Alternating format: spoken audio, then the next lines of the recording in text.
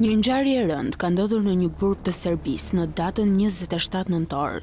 28 vjeçari Artan Zymberi, me nënshtetësi norvegjeze, por me origjinë nga Peja, ka ndërruar jetë në rrethana të paqarta në burgun Sremska Mitrovica.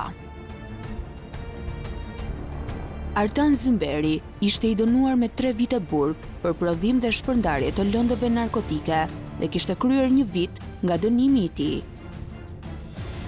Familjarët e tij janë shprehur se gjatë gjithë periudhës që ai ka qenë i burgosur, nuk kanë arritur ta takonin, pasi personeli i burgut i është përgjigjur gjithmonë familjarëve se djali nuk do të flasë, nuk është aty apo është në ajrosje. Autoritetet serbe ia kanë dorëzuar familjes së Zymberit trupin e të ndjerit dhe në raportin mjeko-ligjor thuhet se njëzet e tetë vjeçari ka ndërruar jetë si pasojë e ulçerës në stomak.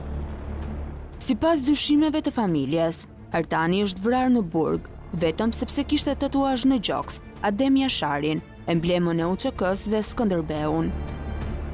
Në datën 6 dhjetor, është bërë e mundur tërheqja e trupit nga familjarët për t'u dërguar më pas në Norvegji, nga ku pritet të ribëhet edhe një herë autopsia dhe të zbulohet shkaku i vdekjes së 28 vjeçarit.